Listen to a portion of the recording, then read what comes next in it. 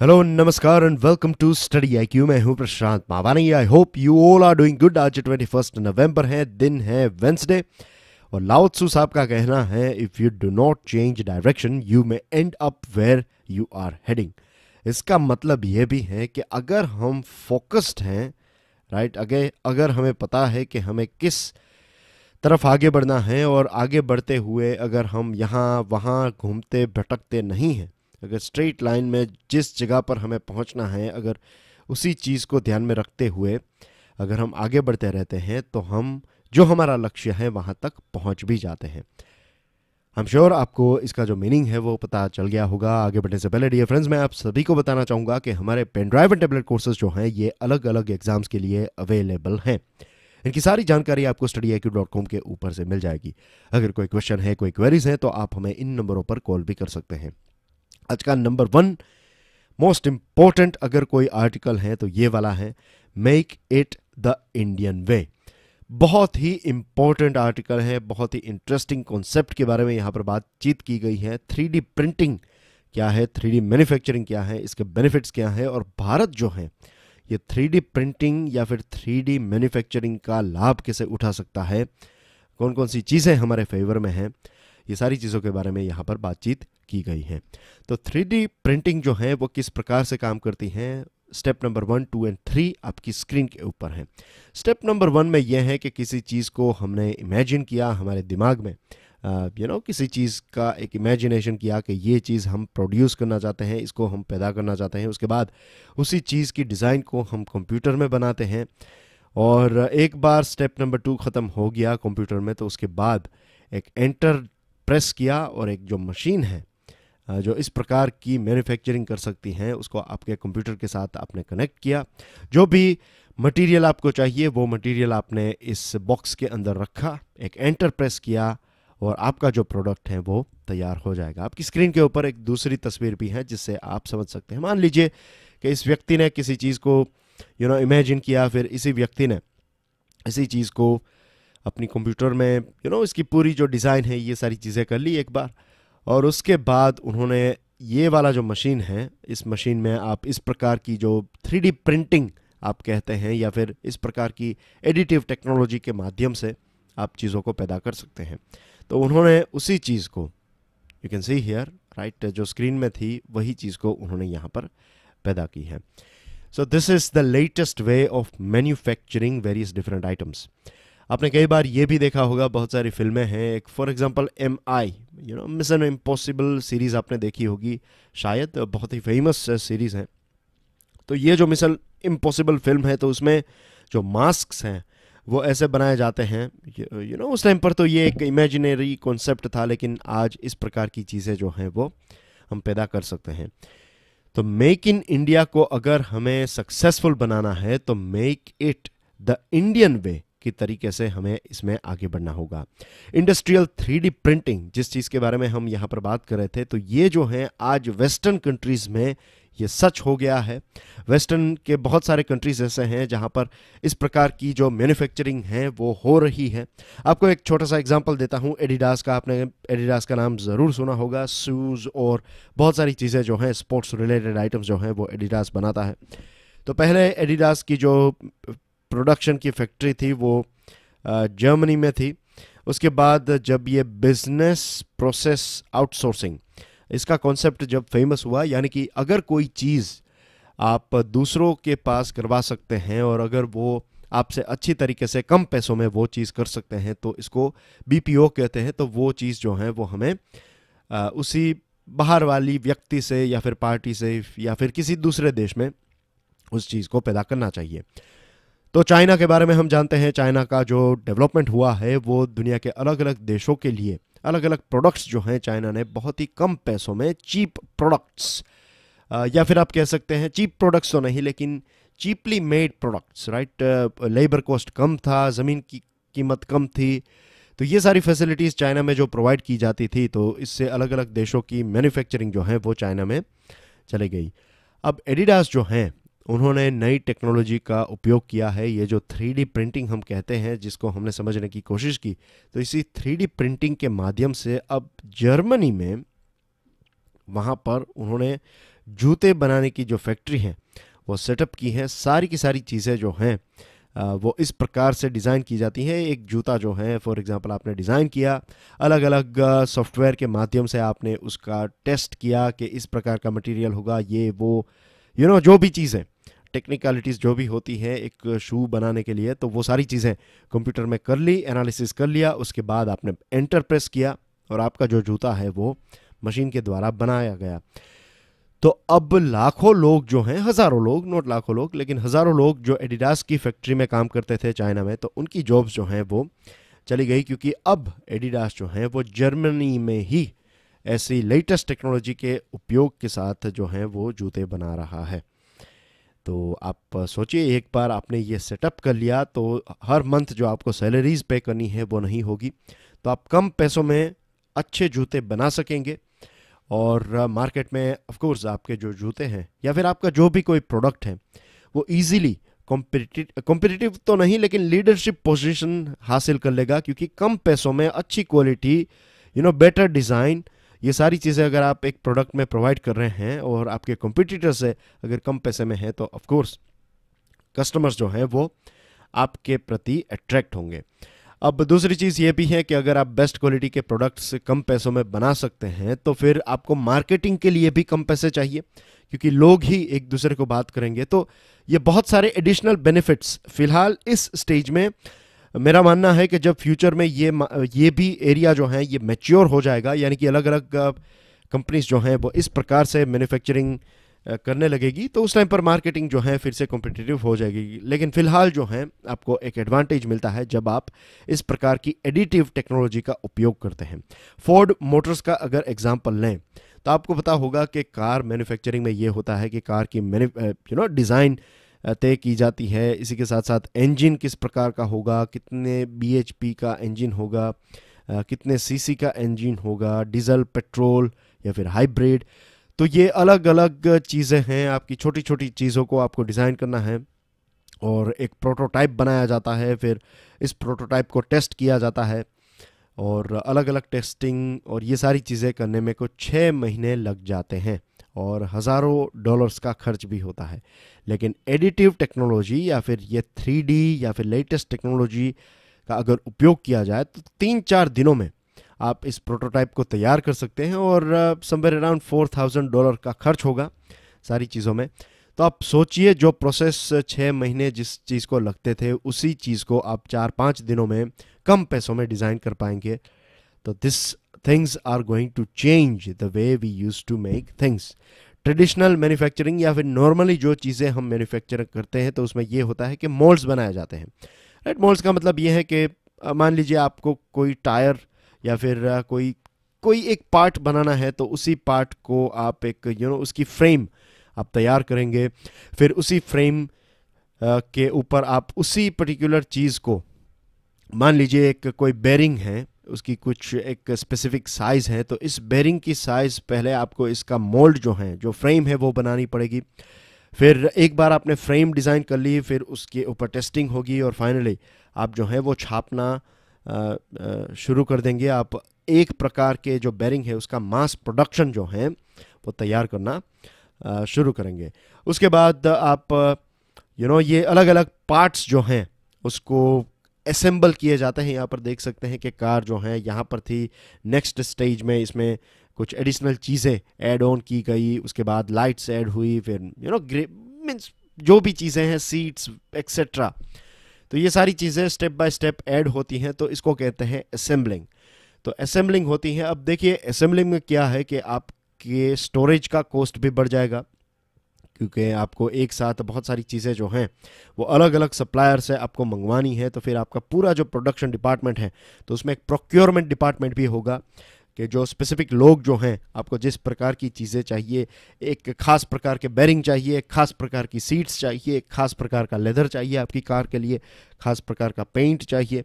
तो ये सारी चीज़ें जो हैं वो आप अलग अलग सप्लायर से ख़रीदेंगे तो ये सारी प्रोसेस इतनी ईजी नहीं रहती है यू you नो know, सारी चीज़ें मीन्स जनरली जो प्रोडक्शन होता है, वहाँ पर मेन मेन चीज़ें कोई कंपनी बना सकती है। जैसे कि इंजन जो हैं, वो जनरली एक कंपनी पैदा करती है, लेकिन इंजन के अलग अलग पार्ट्स जो हैं वो अलग अलग जगहों से मंगाए जाते हैं। तो पूरी जो प्रोडक्शन है, उसमें एक टाइम लग जाएगा।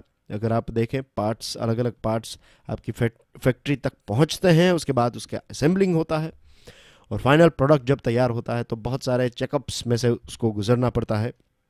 तो टाइम कंज्यूमिंग है एक्सपेंसिव है, ये सारी चीज़ें हैं, लेकिन आज की जो लेटेस्ट ये हम बात करें एडिटिव मैन्युफैक्चरिंग में, इसमें आपको ऐसे मोल्ड्स बनाने नहीं पड़ते, इस प्रकार का असेंबलिंग जो है वो नहीं करना पड़ता है। What you have to do is आप सिंपली एक सॉफ्टवेयर में यू नो डिज़ाइन क्रिएट कर लीजिए, और अगर आपके पास उस प्रकार का मशीन है राइट ये एक छोटा सा मशीन है, फिर इस, इससे एक बड़ी साइज़ का मशीन भी हम बना सकते हैं। अब फ़िलहाल जो है वो लिमिटेड प्रोडक्ट्स में इसका उपयोग किया जाता है, जैसे कि फॉर एग्ज़ाम्पल ये जो सुनने की जो मशीन होती है जो जो लोगों को सुनने में कोई इश्यू है या फिर प्रॉब्लम है तो उनके लिए जो हियरिंग एड मशीन होती है तो ये सारी मशीन्स जो हैं आजकल 100 परसेंट ये जो है, ये इस प्रकार की एडिटिव मैन्युफैक्चरिंग के माध्यम से इसको पैदा किया जाता है।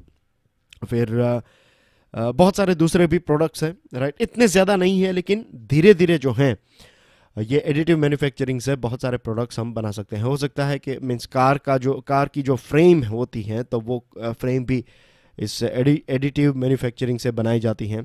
आने वाले टाइम में इंजन्स जो हैं वो भी इससे बनाए जाएँगे। और एक टाइम ऐसा आएगा जब पूरी आपकी कार जो है वो आप कार या फिर कॉम्प्लेक्स अलग अलग मशीन्स जो हैं वो हम एडिटिव मैन्युफैक्चरिंग से बना पाएँगे। अगर आप मान लीजिए आप आपको एक आपने एक कार खरीदी राइट और एट प्रेजेंट क्या होता है कि थोड़ी बहुत चीज़ें अप्स एंड डाउन्स हो सकती हैं। कुछ फीचर्स हैं, कुछ एक्स्ट्रा ग्रिल्स लगा दी। तो यू नो मॉडल्स आते हैं अलग अलग तो टॉप वेरिएंट में ये होगा, वो होगा। तो ये सारी चीज़ें थोड़े बहुत कस्टमाइजेशन हमें मिलते हैं।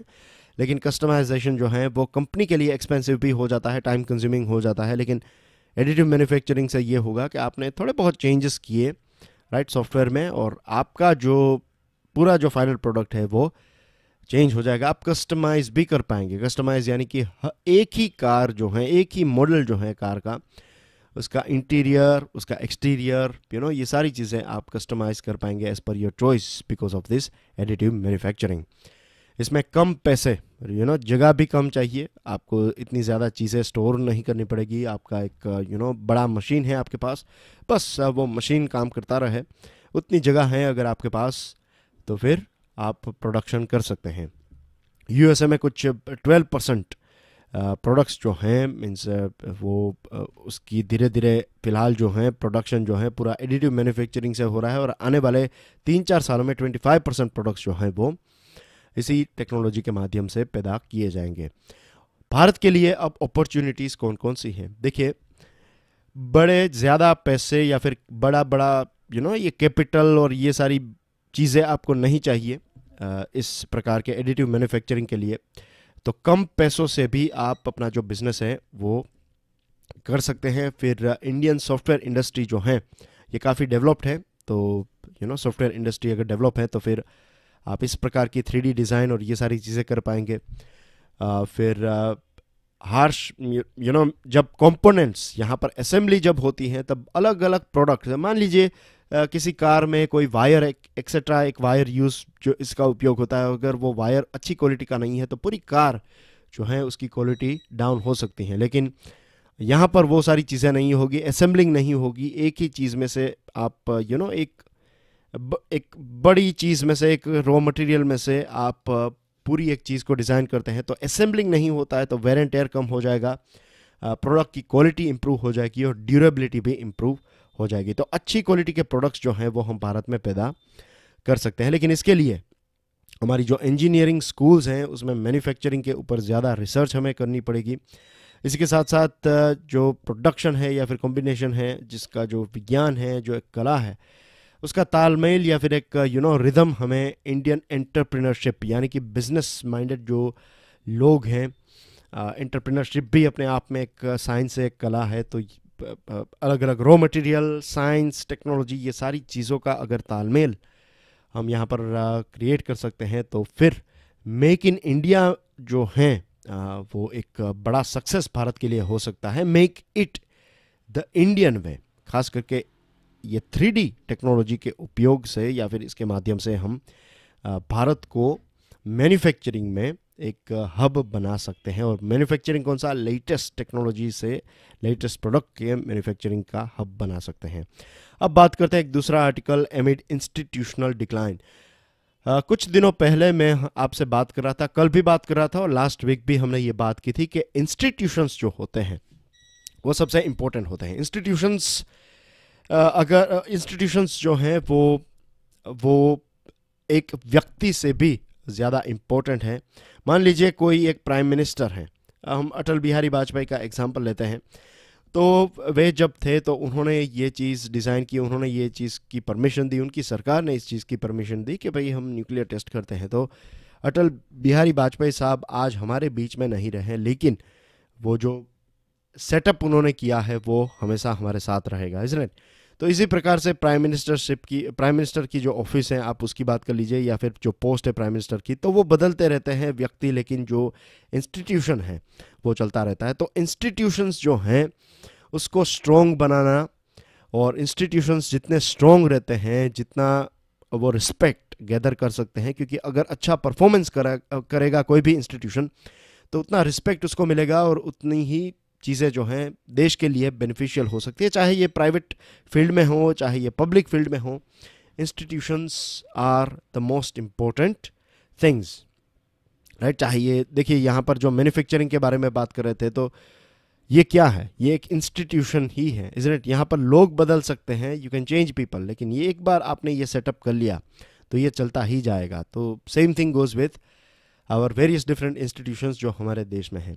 आज हम इसके बारे में इसीलिए बात कर रहे हैं क्योंकि देखिए क्या होता है कि कई बार अगर पूरी सिस्टम हम कहते हैं कि सिस्टम बिगड़ गई है तो सिस्टम में क्या होता है कि अलग अलग व्यक्ति जो हैं इंपॉर्टेंट पोस्ट के ऊपर बैठे हुए व्यक्ति जो हैं, वो अपनी ड्यूटीज़ जब नहीं करते और जब ड्यूटीज़ नहीं करते तो इंस्टीट्यूशन या फिर सिस्टम इतनी अच्छी नहीं डिज़ाइन की गई होती है कि ऐसे लोगों को निकाला नहीं जा सकता। तो ये सारे बैरियर जो हैं, कहीं ना कहीं एक बैड इंस्टीट्यूशन को you know this is a sign of bad institution एक अच्छे इंस्टीट्यूशन में अगर कोई परफॉर्म नहीं कर रहा है तो वो आउट किया जाएगा, वो उस व्यक्ति को निकाला जाएगा। तो अच्छा इंस्टीट्यूशन वो है जिसमें ऑनेस्ट व्यक्ति जो हैं, वो सर्वाइव करे, वो फ्लरिश करे, वो थ्राइव करे। और बुरे जो व्यक्ति हैं, जो परफॉर्म नहीं कर सकते, वो सारे इंस्टीट्यूशंस में, वो सारे व्यक्ति जो हैं, वो इंस्टीट्यूशन में आइडेंटिफाई करने के बाद उनको निकाला जा सके।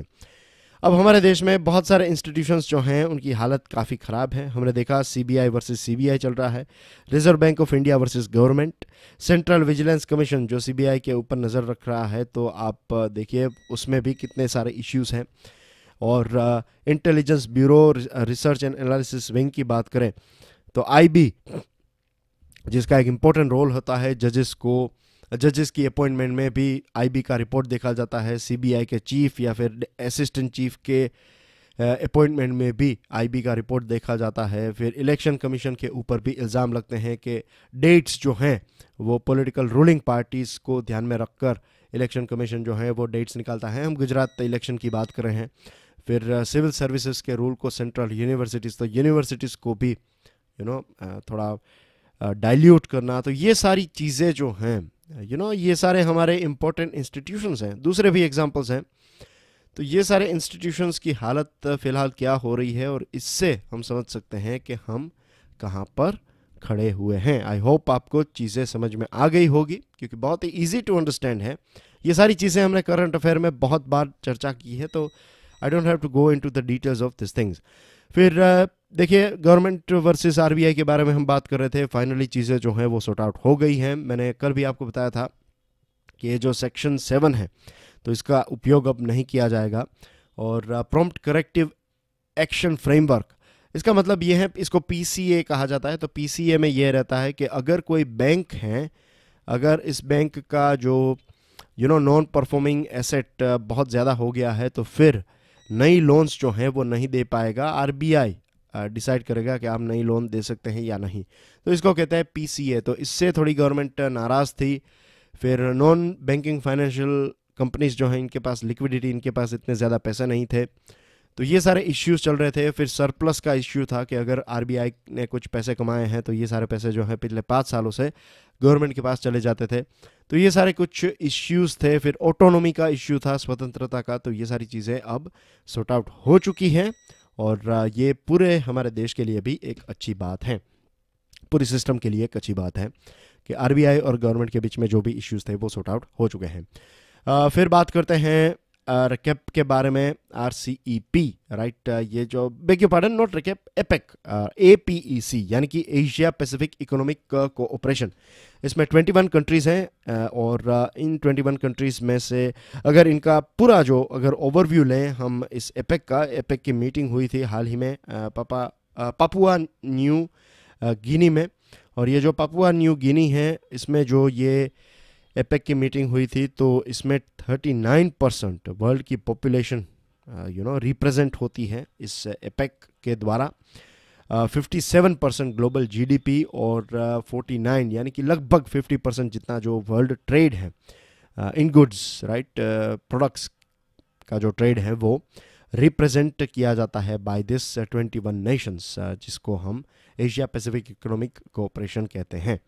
अब इस एपेक की मीटिंग में साफ़ तौर पर जो बड़े दो जायंट्स है यूएसए और चाइना के बीच में काफ़ी यू नो तीखा डिस्कशन हुआ। एक दूसरे ने काफ़ी यू नो तीखी वाणी का उपयोग किया। जैसे कि यूएसए ने बताया कि चाइना को मार्केट एक्सेस यूएसए के जो प्रोडक्ट्स हैं, वो चाइना में बेचे जा सके। तो उसके लिए यू नो एक छूट देनी चाहिए। फिर इंटेलेक्चुअल प्रॉपर्टी राइट्स को रिस्पेक्ट करना चाहिए। अमेरिका की कोई कंपनी कोई दवाई बनाती है या फिर कोई चीज़ें बनाती हैं तो इसके ऊपर जो भी कॉपीराइट रहता है तो इसकी एक डुप्लीकेट आइटम या फिर इसके जैसी ही एक डुप्लीकेट चीज़ चाइना में बनाई जाती हैं तो इससे जो, जिस कंपनी ने इतनी मेहनत करके कोई नई प्रोडक्ट बनाई है तो उस प्रोडक्ट की डुप्लीकेट बनाना तो ये भी इस कंपनी के हित में नहीं है तो इंटेलेक्चुअल प्रॉपर्टी राइट्स के प्रोटेक्शन के बारे में भी इसका जो उल्लंघन होता रहता है चाइना के द्वारा तो इसके बारे में यूएसए ने बात की।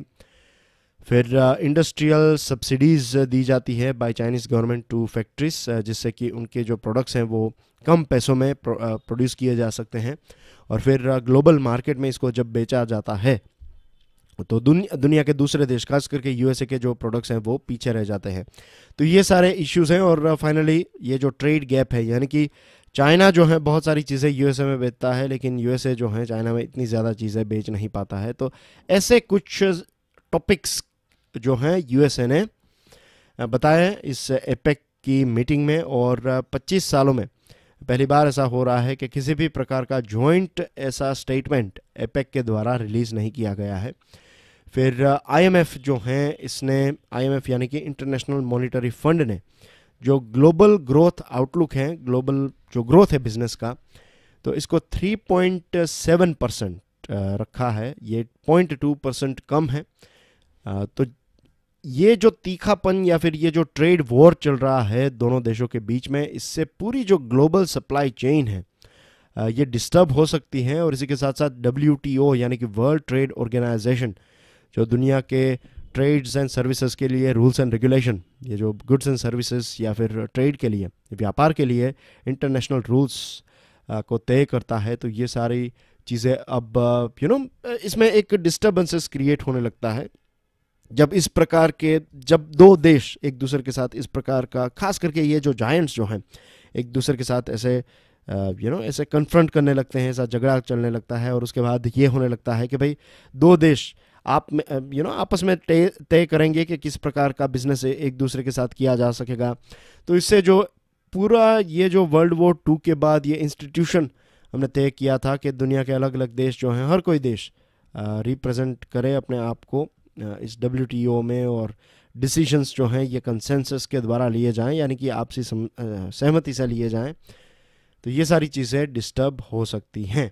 और ग्लोबल ट्रेड जब डिस्टर्ब होगा ग्लोबल सप्लाई चेन जब डिस्टर्ब होगी, तब पूरी पूरी दुनिया में जो इकोनॉमी है, वो डिस्टर्ब हो जाएगी तो that's a negative for the whole world खास करके जब ये दोनों जायंट्स के बीच में टकरार चल रहा है, तब।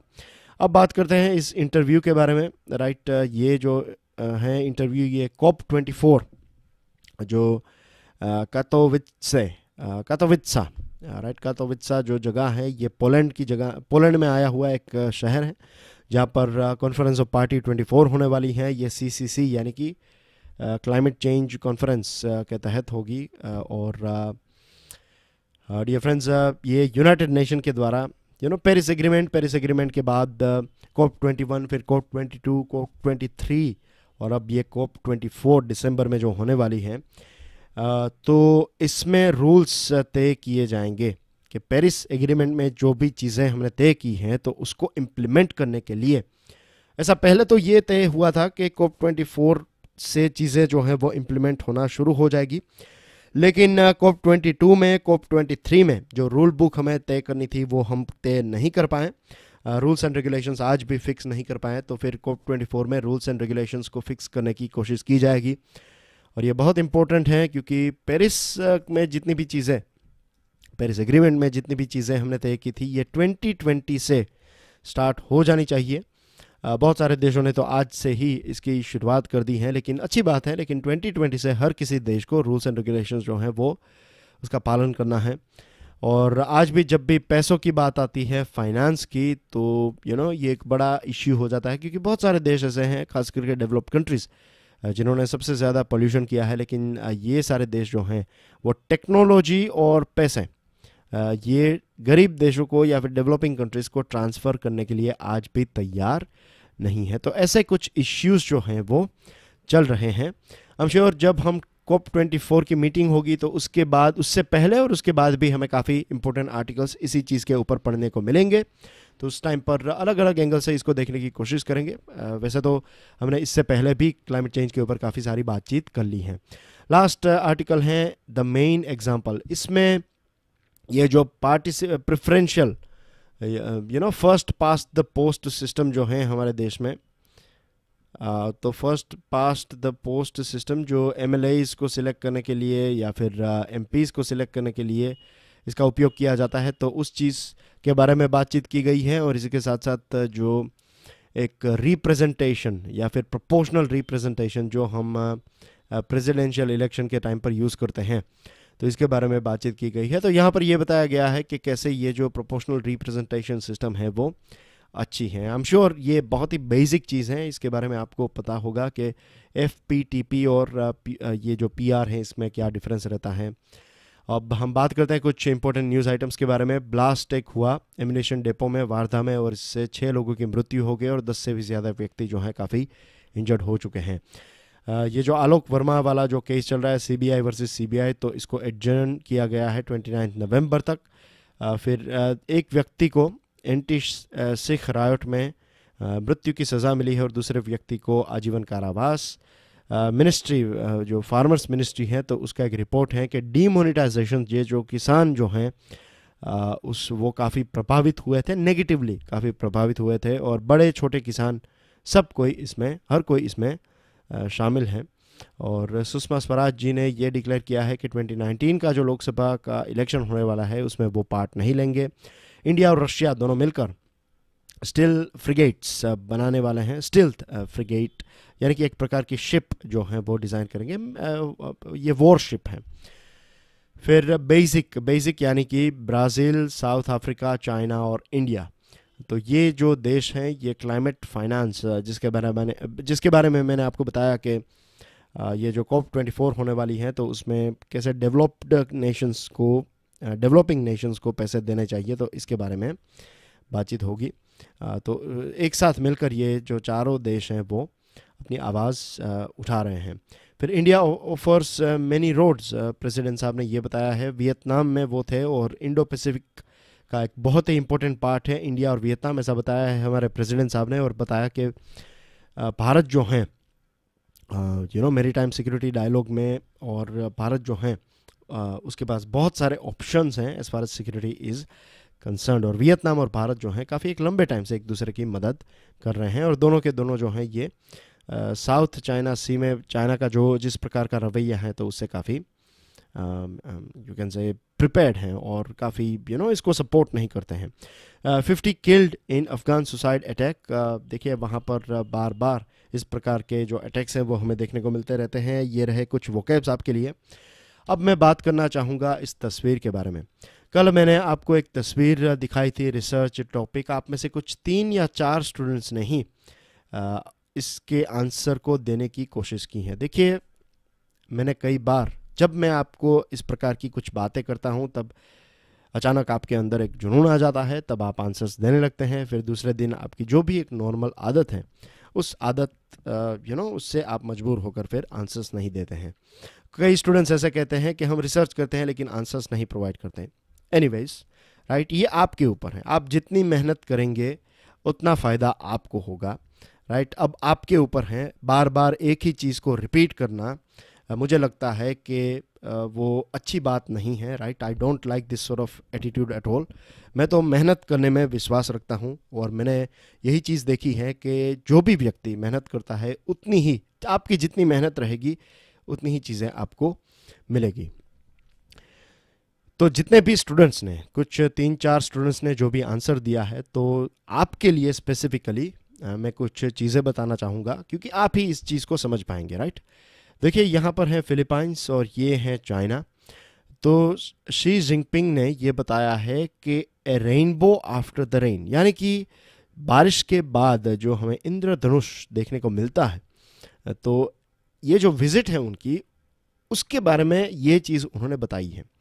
अब बारिश को जनरली हम किस किस चीज़ के साथ एसोसिएटेड कर एसोसिएट करते हैं राइट अगर हम कहते हैं कि बारिश के बाद इंद्रधनुष तो एक बुरे फ़ेज़ के बाद कुछ अच्छी चीज़ हमें देखने को मिलेगी इज़ तो बुरे फ़ेज़ की बात करें तो ये दोनों देश के अगर आप मैप को देखेंगे, आप अपनी जो एटलास है उसको खोलकर देखेंगे तो आप पाएँगे कि साउथ चाइना सी को लेकर इन दोनों देशों के बीच में तकरार था। अगर आपको नहीं पता है तो आपको क्या करना चाहिए, आपको दोनों देशों के बारे में सिर्फ़ गूगल कीजिए, चाइना फिलीपाइंस रिलेशनशिप। आपको साउथ चाइना सी के बारे में कुछ चीज़ें पढ़ने को मिलेगी। फिर आपको पता चलेगा कि इंटरनेशनल कोर्ट में भी फिलीपाइंस ने केस दाखिल किया था। तो यहाँ पर दोनों देशों के बीच में टेरिटोरियल इश्यूज़ हैं। और आज हम देख रहे हैं कि शी जिनपिंग जो हैं, एक नई शुरुआत करने के लिए तैयार हैं। तो अब इसी चीज़ को अगर आप भारत के साथ देख कर यू नो ये सारा एनालिसिस जो है, वो आपको किसी भी बुक में पढ़ने को नहीं मिलेगा। You have to try it by yourself इसमें इसका कोई सेट फॉर्मूला भी नहीं है। आप जितना सोचेंगे इसके ऊपर अटेंशन पे करेंगे, आप इतनी ही चीज़ें यहाँ से सीखेंगे। तो ये जो शी जिनपिंग साहब और मान लीजिए चाइना और इंडिया के बीच में जो डोकलाम का इश्यू हुआ था वैसे तो ये डोकलाम का इश्यू जो है, ये भूटान और चाइना के बीच में था, लेकिन भूटान के साथ हमारी एक खास ट्रीटी है तो हमने स्टेप इन किया था। तो रिलेशनशिप काफ़ी बिगड़ गए थे, लेकिन रिलेशनशिप इम्प्रूव करने की काफ़ी कोशिश की गई है। तो यहाँ पर हम ये भी देख सकते हैं कि भारत और चाइना के बीच में अगर चीज़ें बिगड़ गई हैं तो फिर उसको इम्प्रूव करने की अपॉर्चुनिटीज़ हैं, हमने कोशिश भी की थी सक्सेस भी हमें मिला इनफॉर्मल मीटिंग हुई। और आप ये भी कह सकते हैं कि चाइना जो हैं इनके जितने भी देशों के साथ बुरे रिलेशनशिप थे, किसी भी वजह से तो उसको इम्प्रूव करने की कोशिश भी चाइना करता रहता है।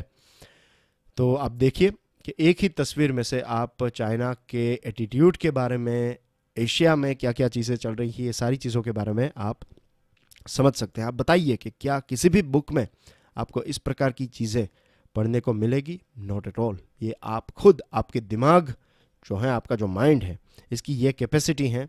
अगर आप इसका यू नो ऑप्टिमल उपयोग करें तो आप कहाँ से कहाँ पहुँच सकते हैं? आप सोचिए। That's everything in today's discussion thank you very much God bless you all जय हिंद